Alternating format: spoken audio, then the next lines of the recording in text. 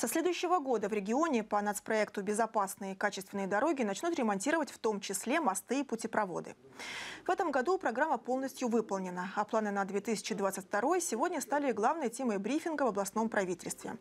В следующем году в нормативное состояние должны привести 85% дорог Белгородской, Староскольской и Губкинской агломераций, а также 67% в других муниципалитетах.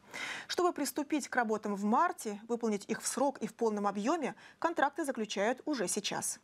Особое внимание, конечно же, будем уделять это содержанию дорог, качеству содержания дорог вот, и мероприятиям по безопасности, потому что это основное направление нашей деятельности, которое будет на ближайшие годы.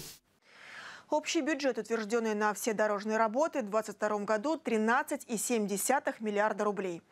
Также регион будет участвовать в федеральной программе «Стимул» для строительства дорог в микрорайонах ИЖС.